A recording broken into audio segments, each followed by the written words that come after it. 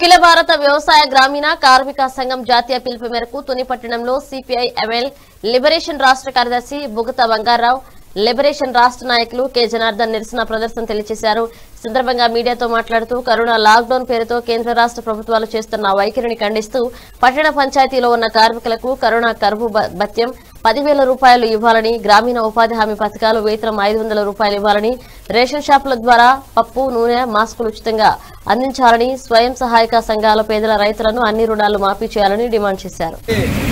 ఎదుర్కొంటూ ఉన్నారు? కేంద్రంలో మోదీ సర్కార్ కానీ రాష్ట్రంలో వైసీపీ ప్రభుత్వం కానీ ఈ కరోనాను కట్టడి చేయడంలో తన వైఫల్యం ఏదైతుందో మనకి చాలా స్పష్టంగా కనపడతా ఉంది.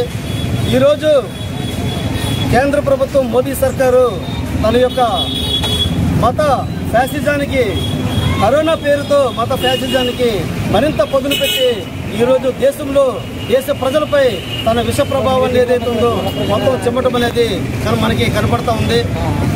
ఈ రాష్ట్రానికి వచ్చేటప్పటికి ఇళ్ళ స్థలాల పేరుతో మన జగన్ గారు మొత్తం పేదలు దళితులు గిరిజనులకు సంబంధించినటువంటి భూములను మొత్తం కూడా బలవంతంగా లాగేసుకుంటా ఉన్నారు.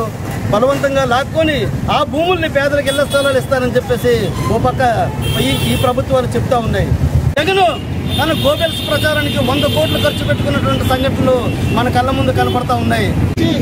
మొత్తం పేదలందరూ కూడా ఆకలితో అలమటించి చిన్న చిన్న వృత్తుల వాళ్ళందరూ కూడా అనేక ఇబ్బందులు పడి అన్ని రకాలుగా నష్టమైనటువంటి వాళ్ళకి ఖచ్చితంగా నెలకు పదివేల రూపాయలు ఏదైతే ఉన్నదో కరోనా ఎల్లవేసి ఇవ్వాలని చెప్పేసి మా యొక్క సంఘం డిమాండ్ చేస్తా ఉంది.